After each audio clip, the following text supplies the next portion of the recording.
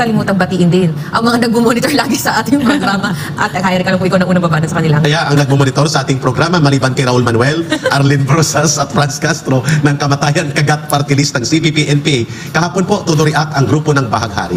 Ang what is Bahaghari? Yeah, Bahaghari, Ma'am Lorraine, Miss Ina, is the front organization created by the Communist Party of the Philippines to Ah. infiltrate and recruit sa hanay ng mga LGBTQ. To victimize. To victimize. To deceive and to- victimize. Yun, the term, Ma'am Lorraine, Miss Ina, para i-recruit sila papunta sa, uh, kunwari, mga issue ng LGBTQ, diskriminasyon at iba pa. Pero ang layunin nito ay pumunta sa pag-revolusyon, pagsuporta sa CPP, NPA, NDF dahil may underground operations ito. Ang nireact nila before we will have to get on board the spokesperson of the NTF-LCAP Legal Cooperation Cluster na nasa line na Miss Ina Ma'am Lorraine, todo react sila sa pag-expose natin kay Irish Granada Inoceto sa ating uh, pag-expose na nagrereklamo mga guro at ang principal ng Iloilo National High School Yeah. ah, sa kanyang ah, mga maniobra gamit ang issue ng haircut at iniugnay niya sa haircut policy sa school na ito iniugnay niya sa ah, discrimination daw laban sa mga LGBTQ sa Iloilo na mga kabataan at ah, ito'y binunyag natin sapagkat ito ay recruitment scheme Question, para question, question. Go ahead, ma'am. It's so stupid. I don't, I don't get it.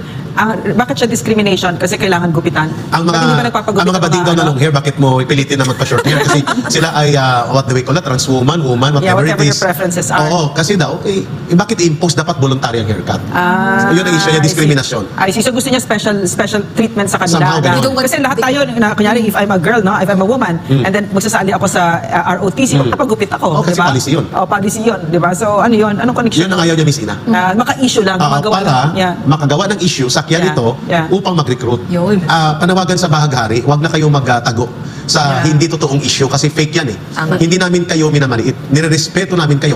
Even si Pastor Kibuloy, may programa dito si ah, ah, Sas, Roganda. Roganda Saso.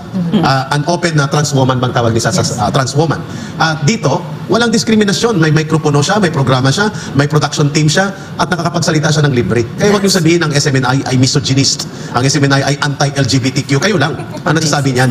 Ah, CPP, NPA, NDF created itong ah, bahaghari. Hindi namin ito mapapatagalan ng komentaryo. Ibibabalik ko kay Ma'am Lorena at kay Miss Ina.